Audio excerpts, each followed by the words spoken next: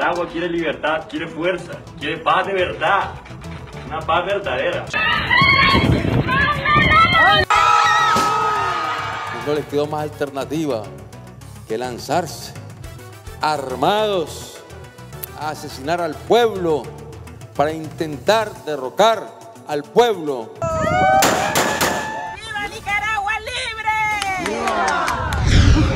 No estamos bien, pero estamos vivos. Estamos refugiados en la iglesia, pero no, no, tienen, no tienen piedad, están disparando para acá. Ustedes están manchados de sangre, todos, todos, porque son copartícipes, son cómplices.